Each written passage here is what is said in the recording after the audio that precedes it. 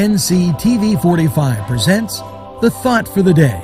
Monday through Friday, we give you a message of spirituality and inspiration. Your host, Hello and welcome to NCTV 45's Thought for the Day.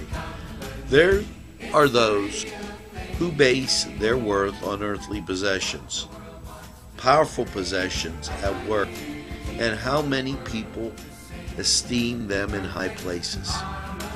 God's Word says none of those really matter, so that Christ may dwell in your hearts through faith. And I pray that you be rooted and established in love, must have power, together with the Lord's holy people, to grasp how wide and long and high and deep is the love of Christ.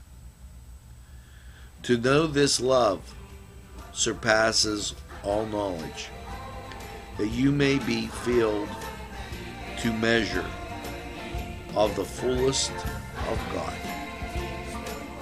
For NCTV 45, I'm Angelo Perrotta, and this was the talk for the day.